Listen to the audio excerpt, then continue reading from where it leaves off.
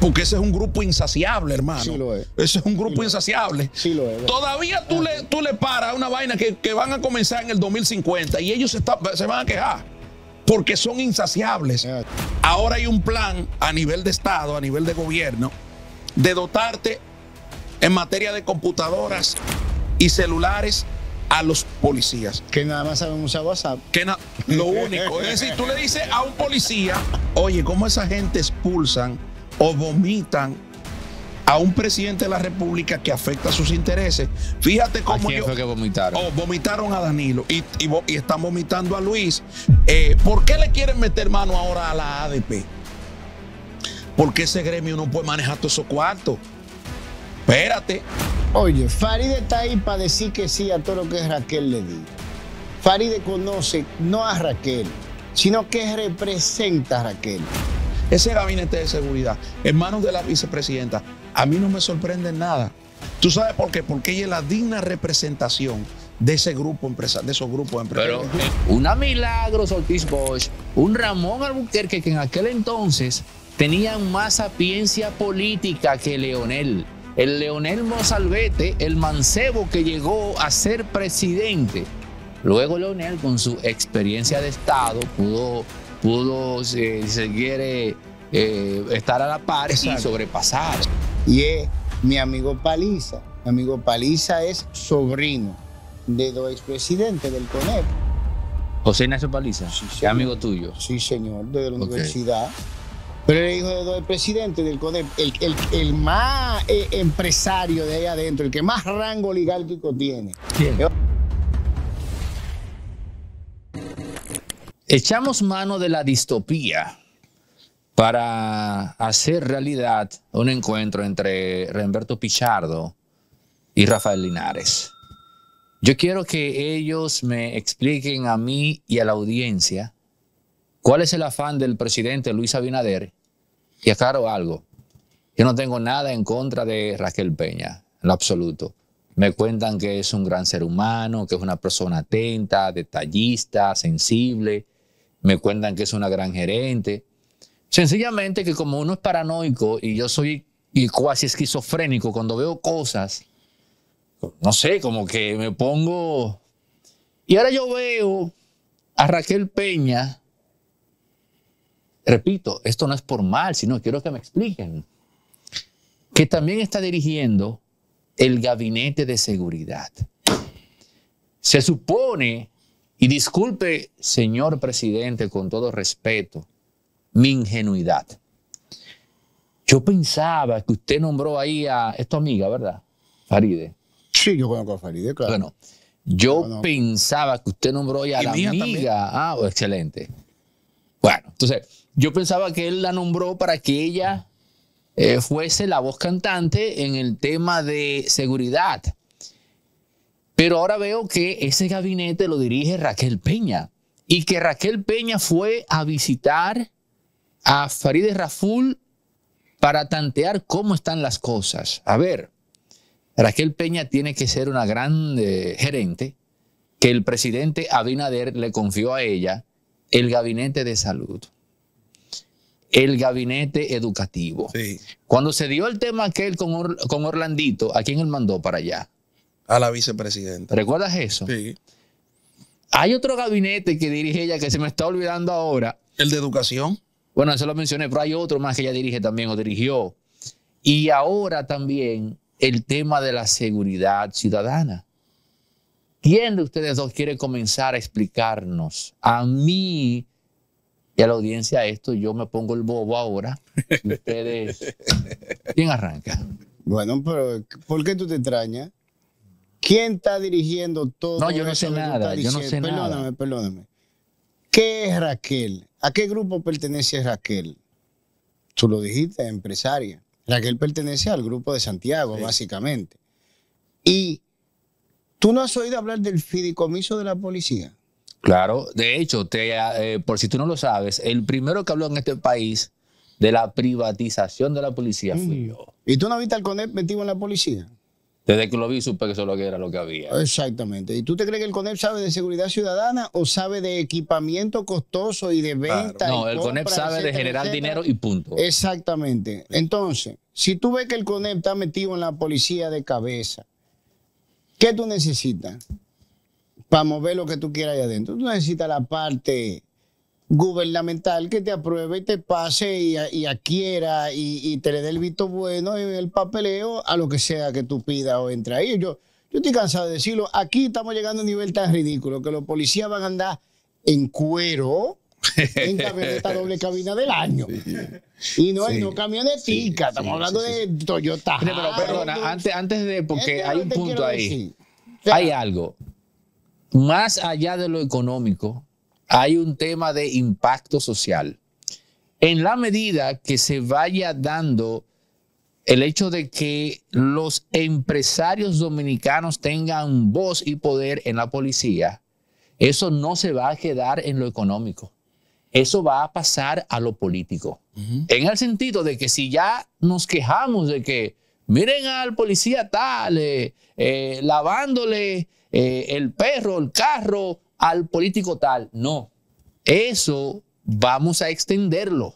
Es Pero- decir, el empresario que va a decidir sobre la gerencia, entre comillas, de la policía. Sí, porque ya no se va, no se, no lo veremos desde ese punto de vista un policía cargando un perro, un policía bañando un perro. El policía pasa a ser un instrumento, él como tal, de negocio. Por ejemplo, todas las prendas que tiene el policía pasan a ser instrumentos de negocio. Desde la macana, la, el arma, desde el pantalón, desde, la, desde la camiseta, todo. ¿Qué es lo que está ocurriendo hoy en día? Yo te lo he dicho en, en otras ocasiones, Remberto eh, también puede profundizar sobre el tema. A raíz de la muerte de Trujillo, se buscó quitarle poder al presidente de la República en la decisión estratégica de temas fundamentales. Por ejemplo, el presidente de la República va a pasar a ser en los próximos 20 años, si seguimos con este esquema, o en los próximos 10 años, en los próximos dos periodos, un gerente. Fíjate que él va a controlar el presupuesto nacional vía Congreso. si tiene el Congreso a su favor, porque también se está, se está provocando un debarajute con los partidos que me- políticos. Me, río porque yo imagino a un presidente hablando con los empresarios como quien dice, no, no, no, no, espérate, tú te equivocaste. Aquí te pusimos nosotros para que tú Pero- eh, manejes, pero es que- que eh, no para está- que tú óyeme, manejes el ¿Y colmado ¿Qué y ya. ustedes creen que pase en el Consejo Nacional? No, pero con Danilo no, ah, espérate, con Danilo no fue, espérate, espérate, espérate. ¿Qué es lo que- espérate, que Remberto, que hay que pasa ahí? decir, hay que decir que con Danilo no fue así. Pero Juan Vicini cogió precisamente- mucho- Juan Vicini pero cogió mucho precisamente- pique con, Mira, Juan mira, Vicini mira. cogió mucho pique con No, Danilo. Sí, pero fíjate, fíjate en esto. Danilo sabía, sabía, óyeme bien, que él se estaba enterrando, pero no lo pudo evitar. Danilo agarra y vuelve. Se da su reelección 2016. Y el 2017 estaba juramentado el Consejo. Sí. Eso es así de simple. Y por más que él resistió 2018, 2019, él sabía que no iba a poder evitar nada. ¿Tú sabes por qué? Porque él quiso tarde, muy tarde, yo no digo él, yo digo décadas muy tarde, recuperar un control económico Exacto. que él llegó al poder sin, sin él, sin tenerlo. Porque es que los presidentes, a partir del año 96, el presidente, digo, eh, el presidente Leonel Fernández con un congreso con participación de todos, porque queremos, queremos decir que Leonel, no, no, no, ahí estaban todos, ahí estaba PRD, Partido Reformista. Ese Ramón Alburquerque que vive hablando ahí era presidente del Senado. Esa Milagros Ortiz Bosch era senadora de la República. Y todos le permitieron a Leonel que que comenzara a cederle bienes estratégicos a los empresarios. Desde ahí viene Pero que, que fue, perdona, Linares, fue el crimen perfecto. Porque al ser Leonel el presidente, era la figura visible de ese proceso y era lógico que la población se enfocara directamente en él. Entonces, una Milagros Ortiz Bosch, un Ramón Albuquerque que en aquel entonces tenían más sapiencia política que Leonel. el Leonel Mozalbete, el mancebo que llegó a ser presidente. Luego Leonel, con su experiencia de Estado, pudo, pudo eh, si se quiere, eh, estar a la par y sobrepasar. Sí, pero déjame decirte, cuando Leonel llega en el 2004, Es otro, ya una Leonel, parte del, del- del patrimonio dominicano estaba repartido. Cuidadito, ya las tierras estaban prácticamente Y no raras. repartidas y no raras. Las tierras, por ejemplo, las empresas generadoras eléctricas ya estaban en manos privadas. ¿Qué, qué es lo que, qué- fue lo que ocurrió a partir de ahí? Bueno, que los empresarios comenzaron entonces a incidir de manera determinante en la política. Pero dime algo, o díganme algo, ¿ustedes creen que Farideh Raful, conociendo uno el fuste de ella, lo contestataria que es, lo autónoma que quiere, no es que no lo sea, sino que quiere dejar claro que es, ¿ustedes creen que ella se sienta en su foro interno cómoda con la presencia de la vicepresidenta enviada por Palacio? Porque no nos, que no nos pasa por la cabeza que la vicepresidenta dijo, me levanté hoy con ganas de ir donde Faride. Háganme el asunto. Mira, esa foto está sospechosa, señor. Está, está muy sospechosa esa foto. Entonces, dígame, ¿ustedes creen que Faride se sienta cómoda con eso? Pero es que eso no funciona así. No. Está- ok, Déjame- perfecto. no, no, Dime cómo no, funciona. déjame, déjame, te lo voy a explicar. Para que ya, ¿verdad? Antes de ponerte a ti en un cargo, se te dice lo que va a suceder durante tu gestión en el cargo. Por eso es que tú no ves que nadie patalea. ¿Tú te crees que si, si tú agarras y yo te digo, mira, eh, yo te voy a poner a ti ahí en interior y policía, pero tú sabes que nosotros no podemos agarrar y cerrar esa frontera y tú sabes que a cada rato te vas a calentar porque van a aparecer inmigrantes ilegales, etcétera, etcétera. Y tú me dices a mí, no, manito, no, pues tú estás loco. ¿Tú te crees que es verdad que yo voy a firmar el decreto con el nombre tuyo ahí? Sí. Ni que me No lo firma. tú- pues yo me estoy buscando un problema. Ahora vamos, vamos al principio. ¿Y qué, qué conocimiento tiene Faride de un manejo de un ministerio como Interior y Policía? Porque nosotros nos volvemos locos, por eso es que esto está al revés. Los decretos no dan superpoderes, no dan experiencia de trabajo. No te hace a ti experto en un campo donde tú no te desenvuelves. Ahora, ¿tú sabes para qué se hace eso? Para controlar el ministerio desde afuera. Porque si tú eres un experto en la materia, por más disparate que yo te hable, tú vas a hacer lo correcto, lo que te dice tu formación que debe de hacer, Claro. profesional. Pero si tú no sabes de eso, tú vas a hacer lo que yo te diga que Eso fue lo que hizo, hagas. ento- eso fue lo que hizo, Jan- eso fue lo que hizo Danilo con Jan entonces. Con todo el mundo, son de ahora, Pero, de pero, pero en el caso, pero en el caso de Jan Alain, tú tienes una persona, volvemos al inicio del, del programa, Farmacia Medicar GBC está abierta de lunes a domingo, sigue en pie con su descuento de un 20% y también tiene su app que pueden descargar eh, los amantes de Android y la gente también de Apple. Farmacia Medicar GBC, la de nosotros los dominicanos. que lo traes de controlar o de ser un interactivo con ciertos empresarios, podríamos decir así. Y cuando lo llevas a la Procuraduría General de la República, él va a responder ciertos intereses. ¿Dónde tuvo el problema de Jean Alain Rodríguez?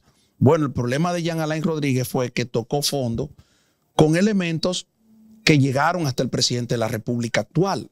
Vamos a establecerlo claro. Y porque el problema no es de Jean Alain no viene ni siquiera por Miriam. El problema de Jean Alain es un pase de factura. Un pase de factura. Digo yo. Yo te puedo decir lo siguiente, mira. Jean Alain, su experiencia como abogado, hasta donde yo soy fondere de Abonetti, Sí. es un bufete empresarial. Esa gente no brega en materia penal. Jean Alain pasa del centro de exportación, etcétera, etcétera, que es un lugar eminentemente empresarial, a la Procuraduría General de la República. Obviamente no es Jean Alain quien va a controlar el movimiento. ¿Tú quieres que te diga una cosa? ¿Tú sabes quién conoce al Ministerio Público? Jenny. Miriam no conoce al Ministerio Público. No. Miriam no tiene formación del Ministerio Público. Miriam no sabe cómo bregar con las dos asociaciones de fiscales que hay adentro, que son peores que los sindicatos. Sí, sí. Cómo se ríe. Sí. Son peores que Sí, los la gente sí, no sabe eso. sí. ¿Tú sabes quién sabe? No, oye, te paran. Te Eh, por ejemplo, Milciade Guzmán, ¿Entiendes? de la, de la, de de la, de ¿Qué la provincia. No, de está como procurador en la Pero ¿tú sabes provincia. quién es que sabe de eso? ¿Tú sabes quién Pero, es? eh, es serio. Sa- no, yo no estoy diciendo que es serio o, o sinvergüenza, Oye, Jenny, Jenny. pero sabe de Procuraduría Jenny General de Ah, la ok, te República. entiendo ya. Jenny. Retiro lo dicho, perfecto. Jenny conoce todo. ¿Tú sabes de quién era mano derecha Milciade en la Fiscalía del Distrito Nacional? De Jenny. Jenny. De Jenny. La mano derecha de Jenny Berenice Reynoso durante su gestión en la Procuraduría Fiscal del Distrito Nacional, que duró como siete años, era Milciade. sí. Y la izquierda era Denny. Eran do- dos manos. Milciade para atacar y Denny para defenderse. Porque déjame decirte, la que empezó con la mañita del Ministerio Público de, de no dar información ni devolver bienes, que se incautaban que no estaban en los expedientes y de poner a la gente a coger lucha en tribunales, fue Jenny. Y cuando empezaban a demandar en amparo para que le devolvieran su bienes, gente que le incautaban carros, que no, ta- que, que no estaban siendo perseguidos porque la jipeta estaba del otro lado de la calle, al frente, y se la llevó la dirección. Y no obstante no figurar en la orden, no la devolvía. Fue Jenny y cuando la demandaban en amparo iba Denny a defenderla. Pero espérate, pero espérate, porque en base No, a lo que. Espérate, espérate. En base a lo Jean que. Alain ustedes- pasa a ser un bicho raro en la Procuraduría General de la República en virtud de que no pertenecía a esos grupos que conocían las estructuras como tales de la Fiscalía. Yo te voy a hacer un cuento. ¿Tú te quieres reír? Todo el mundo cree que Luis Henry Molina llegó a la presidencia de la Suprema Corte de Justicia porque era panita de Danilo. Y es lo que se ve desde afuera. No.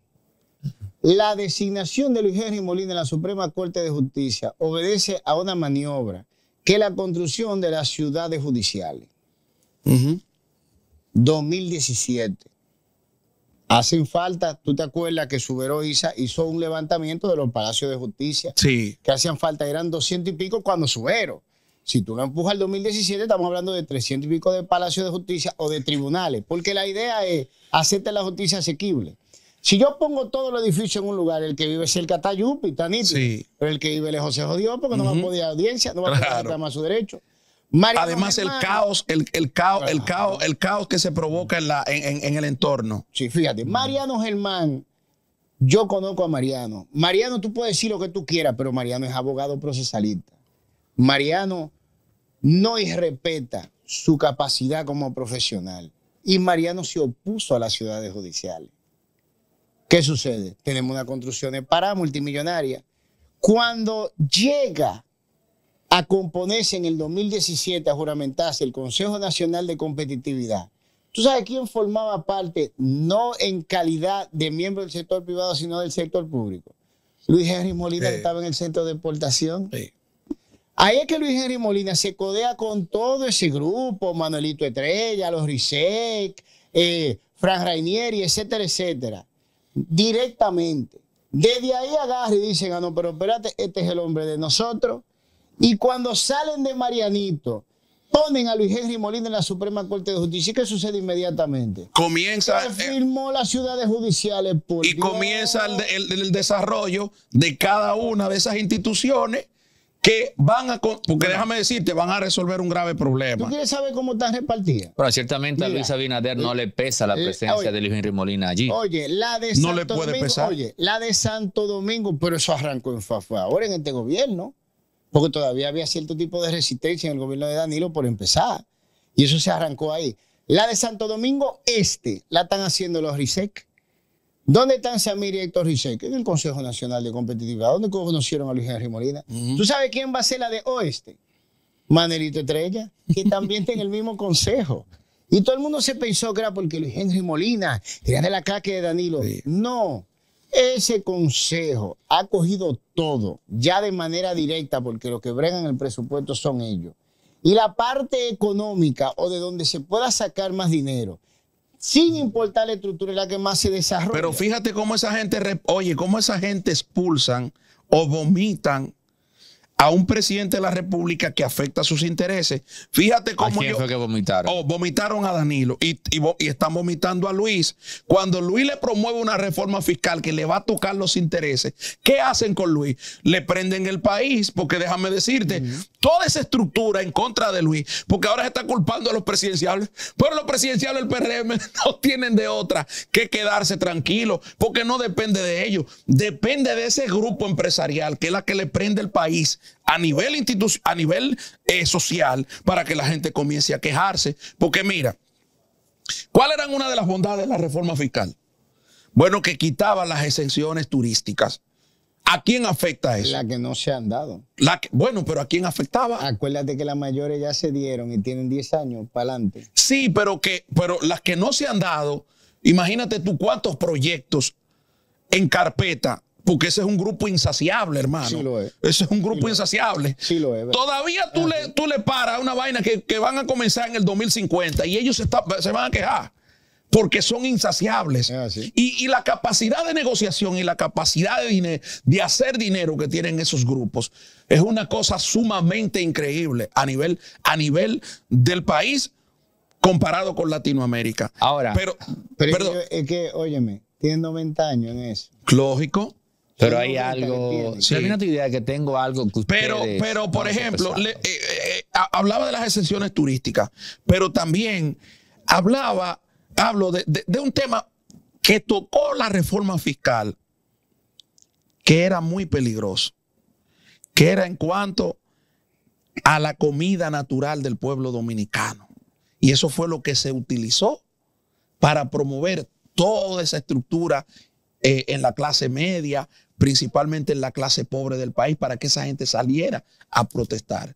Pero esa gente está protestando por lo mínimo, hermano.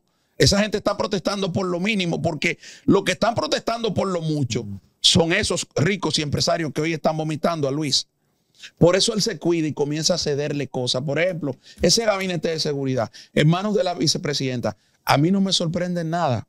¿Tú sabes por qué? Porque ella es la digna representación de ese grupo empresa, de esos grupos empresarios. Pero- Tú en tienes- base. Pero tú tienes que saber que tú no vas a tener seguridad ciudadana nunca aquí. ¿eh? Vamos por parte. Antes de llegar ahí, Remberto, antes de llegar ahí. consciente de Pero escucha, en base a lo que ustedes han dicho, tengo que concluir entonces que existía un plan macro para privatizar el sector de la seguridad ciudadana del Estado y que parte de ese plan entonces, como tú señalas, era nombrar a una persona ajena a esa área para poder controlar el tema desde fuera. En este caso, la persona ajena a esa área es Farideh Raful. No, no, fíjate en esto para que Vamos me a ver. Para que me entiendas. A ellos no les interesa, es como si tú cogieras algo. Imagínate que tú haces un hospital y tú agarras y tiras los cálculos, eh, número, no, no, Sí. ese hospital alberga 100 mil pacientes, para ponerte un número exagerado. ¿Qué es lo que a ese grupo le interesa? Comprar lo necesario para, entre comillas, atender a esos 100 mil pacientes pero no gastar en el personal que atendería a los 100 mil pacientes, porque esa parte no le importa. Seguridad ciudadana, tú no lo obtienes mejorando una estructura, tú lo obtienes mejorando la gente. Sí. Eso significa entrenamiento. El entrenamiento no le deja cuarto al empresariado. Pagar por entrenamiento No. es algo que se enseña, es una clase, es una universidad.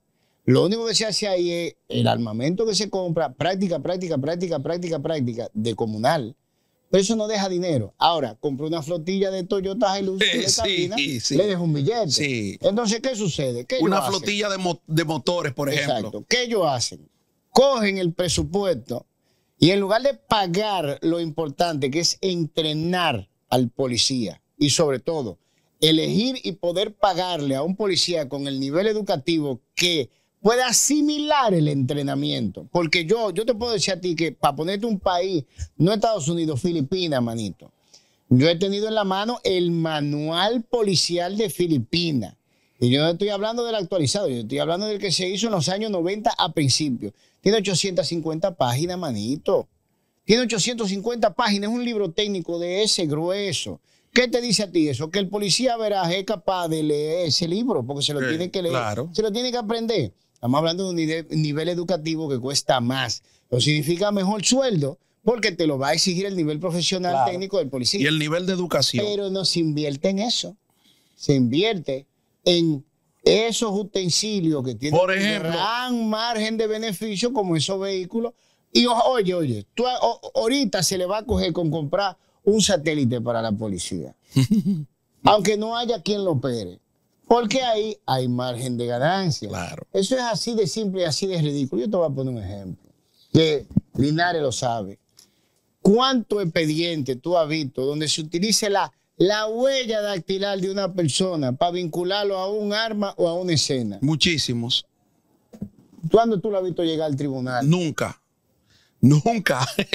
Nunca. Pero sí se utilizan en la, en la escena del crimen. La policía te recoge el. Te recoge parte de lo que significa Ellos hacen el levantamiento. el levantamiento, pero eso no te llega al tribunal. Nunca. Nunca. Entonces tú dices, pero vea acá, y aquellas huellas que se recogieron en aquel momento, ¿dónde están promovidas aquí como prueba en el Ministerio Público? ¿Por qué Y no lo llegan? hacen bien. Y lo hacen bien. Nítido. Oye, te, te revisa el escena, eso lo han hecho delante de mí. Sí, Y no llegan. Cuando tú vas y buscas el expediente, la prueba forense no se encuentra ahí. sí, sí, sí. ¿Cómo tú me explicas eso? Porque, pero ahí hay un problema, ahí hay un tema de gasto. Es igual que tú te vas, por ejemplo, en las comunidades más pobladas, Santiago, San Francisco, eh, el Gran Santo Domingo, donde hay una realidad. La sociedad, o sea, la ciudad está creciendo de manera vertical, ya no de forma horizontal. Y tú tienes el mismo destacamento. Por tanto, Ahí no se invierte en él. no se invierte en él. No. Entonces, toda inversión estructural te la van a promover. Ahora hay un plan a nivel de Estado, a nivel de gobierno, de dotarte en materia de computadoras y celulares a los policías. Que nada más saben usar WhatsApp. Que lo único, es decir, tú le dices a un policía, Ah, por o sea, al común denominador del policía, tú le dices, mira, este iPhone, ¿qué capacidad tiene? No tiene la capacidad de investigar porque no ha recibido el entrenamiento para eso. Señores, pero a mí me asombra que ustedes, eh, y lo digo, tú decías que el tema era complejo, y me doy cuenta que sí, porque hay una fase que no se ha tocado. ¿Cuál es, oigan bien por dónde voy, cuál es uno de los elementos que tiene que garantizarle un Estado a la ciudadanía? Seguridad. ¿Qué, qué ustedes creen que va a pasar con el Estado cuando la seguridad ciudadana quede en manos de elementos ajenos a? Pero que no te en manos de elementos que son consonantes con. No, pero no, no, no, pero- Ya no, no, no. tiempo fuera No, espérate, sí, sí, pero sí, sí, sí. Te comprendo, Reinberto.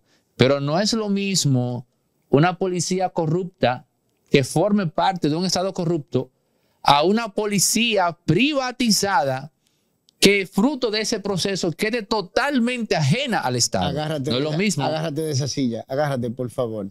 Agárrate.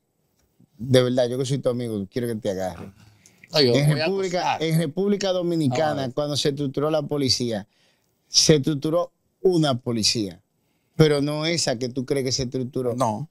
Lo que se estructuró fue un aparato represivo a voluntad de un dictador cuyo entrenamiento es ubicar a aquellos disidentes Y enemigos del régimen.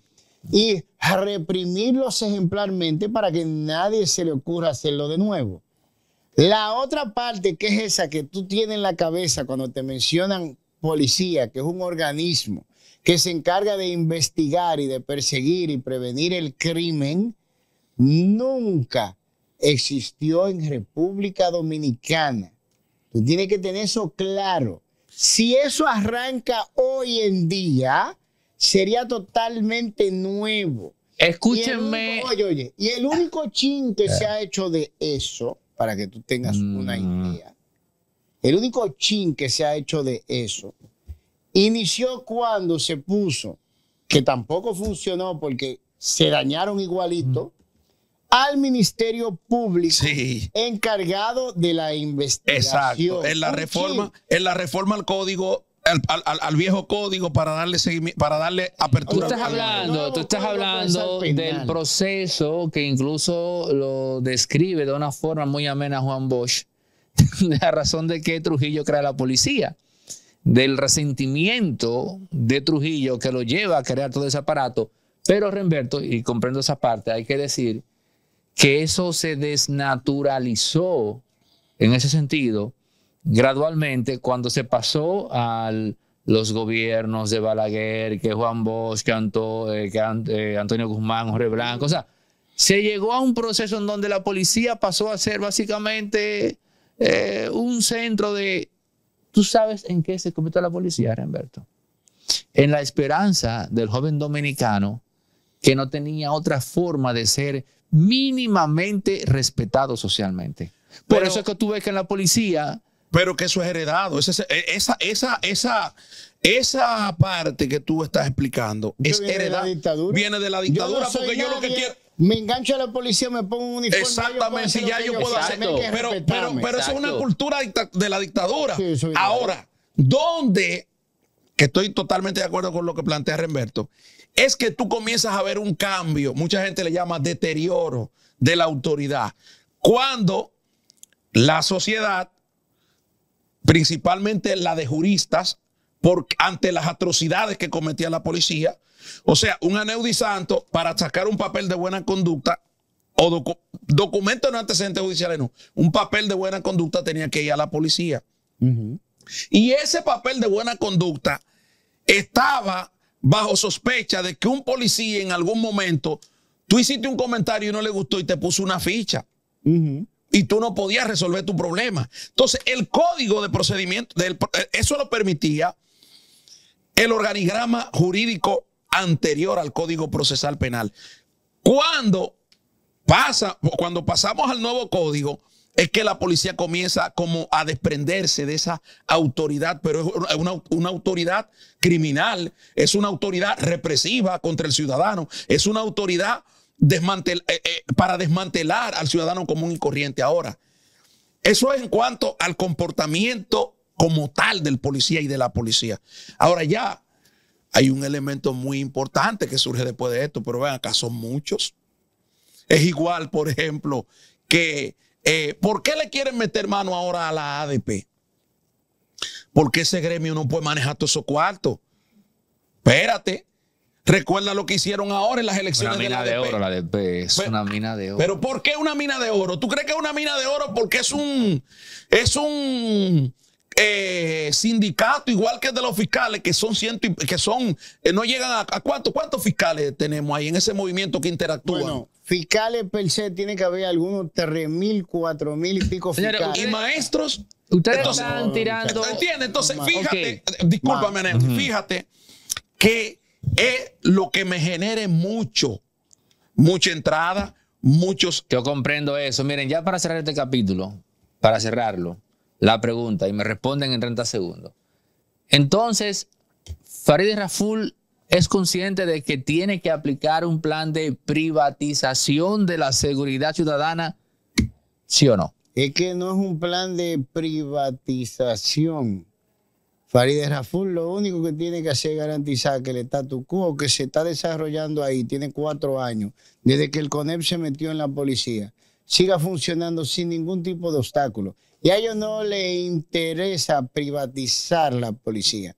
Porque si tú privatizas la policía, tú no le puedes vender a la policía. Claro. A ellos les interesa que el Estado. Repite eso último. Si tú agarras y privatizas la policía, tú mismo no le puedes vender a la policía. ¿Entiendes? Ahora, quitarle la posibilidad al funcionario público, oye bien, de que haga negocio con la policía. Los negocios los controlan ellos. Y por eso Raquel Peña está ahí. Bueno, en parte que representa, es representante de los empresarios. que la muchacha. No, y que cualquier otro. No, es, la muchacha. No se va a doblar, mijo, es que ella no se voy. Eso se habla antes. Pero la mandaron, pero mandaron a Raquel Peña. Sí, pero es que, oye, Faride está ahí para decir que sí a todo lo que Raquel le diga. Faride conoce no a Raquel, sino que representa a Raquel. Y lo interesa de quién Raquel mueve, porque Raquel no es la parte de arriba. Raquel, al igual que Luis Abinader, no es la parte la verdad de que La verdad es que nunca en la historia del poder en la República Dominicana, hombre con voz tan aflautada había tenido tanto poder? Sí, Manuel. Estrella. Manuel Estrella. No, pero es que Manuel Estrella es parte de los ejecutores de allá arriba. ¿Tú no sabes, tú te crees que Manuel Estrella es Manuel Estrella por él? No, mi hijo, por Dios, Manuel Estrella es el representante de un grupo, de ese mismo grupo de Raquel, del grupo de Santiago. Porque entre ellos hay tres facciones. Tenemos lo del distrito, tenemos lo del este, que está encabezado por Ra- Frank Reinieri, Sí. y tenemos lo del Cibao, que es la parte norte, que ahora mismo está siendo representado por Raquel y Manuel Estrella. Raquel adentro y Manuel Estrella medio afuera, porque él fue juramentado en el Consejo Nacional de Competitividad. Entonces, cada uno en su renglón tiene control de algo. Ahora, en donde hay un grueso de inversión privada que interactúa con el Estado o que se beneficia del Estado, lógicamente van a mandar a Raquel a controlarlo, porque Raquel sí es, sí es buena gerente. Raquel no trabajará para el pueblo dominicano, pero para el grupo para el cual Sí. trabajo los grupos es sumamente eficiente en lo que hace. Bueno, Bueno, ¿eh? bueno, yo te dije a ti. Por eso yo te digo a ti. es así. Por ¿eh? eso yo te digo a ti que la carta, ya de último te lo digo, la carta bajo la manga de esos grupos empresariales en un proyecto presidencial venidero puede ser Raquel Peña. No se O puede ser más. cualquiera, porque todo, óyeme, todo para cerrar, como dice Aneudi, todos o son parte del entramado empresarial, porque ahí hay uno, uno de ellos que tiene más rango que todito, y es mi amigo Paliza. Mi amigo Paliza es sobrino de dos expresidentes del CONEP. José Ignacio Paliza, Sí, amigo tuyo. Sí, señor, desde la Ok. universidad. Pero es hijo de dos presidentes del CODEP, el, el, el más eh, empresario de ahí adentro, el que más rango oligárquico tiene. ¿Quién? Es José Ignacio Paliza, para que tú estés claro. El PRM. No, en la estructura que manda en este país, PRM es como quien dice el kindergarten, para que, para que el muchacho se, se desenvuelva Sí. en público. Pero, pa- él pero Paliza es, es sobrino de Elena Villella, por Dios. ¿Tú no lo sabías? El tío de Paliza fue expresidente. El, tío de Paliza, oye, me era presidente del CONEP del 94 al 96. Él fue el que diseñó todo el plan de gobierno, principalmente la estrategia del esquema de privatización, que ejecutó Marrancini posterior a él Yo- como presidente del CONEP. Escuchando, escuchando a Remberto, a ti, más la información que me llega a mí, Ah. que no es de mi interés decirla, me río porque mi madre, cuando me trajo de Bojuco Alambre en San José de Apatrana, Río San Juan, a la capital, ella no sabía, mi difunta madre, en el lío que me estaba metiendo. ¿Tú quieres que te diga una cosa? Entre tú y yo, Oye, si esto fuera una corte y aquí hubiera realeza, todo lo que están en el palacio, óyeme bien, incluyendo a Luis Abinader, que no es de ese grupo, que no es de ese abolengo, tendrían que hacerle la reverencia a Paliza, incluyendo a Luis. José Ignacio Paliza. Sí, señor. Sí, señor. Para que usted esté claro en eso. Así de simple. Y los otros han sido empleados de ese empresariado en su desarrollo profesional. Tú no lo sabes. Ya yo y Simon son los abogados de los, eran los abogados de los Vicini, eran los abogados de Frank Rainieri, eran los abogados de Abraham Hasuri. ¿Dónde tú crees que estaba Luis Abinader? Luis Abinader era parte de Azonadores, por Dios. ¿Qué Azonadores? La parte turística del CONEP, básicamente. Bueno, No, muchachos. Señores, guarden los tiros para otra. Vamos a hacer otro junte de Remberto y Rafael Linares acá en Impolíticamente Correcto. Gracias eh, a ambos por compartir con nuestra audiencia y a ustedes por llegar a la parte final de esta conversación. Suscríbanse, activen la campana, comenten, compartan, den like en pie hasta el próximo.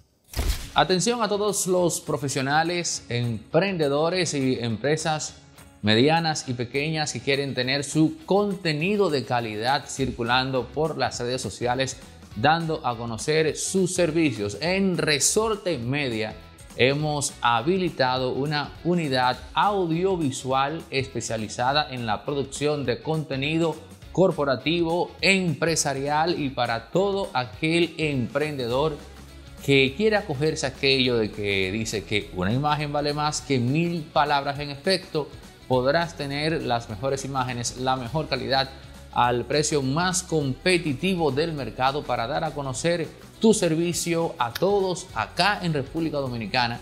E incluso si tu empresa capta clientes en el extranjero, también podrás contar con eso. Contáctanos, escríbenos al 829-741-3061 para que arranques desde ya a colgar contenido en tus redes sociales con la mejor calidad audiovisual posible, la que Resorte Media pone a tu disposición con el presupuesto más eh, asequible del mercado.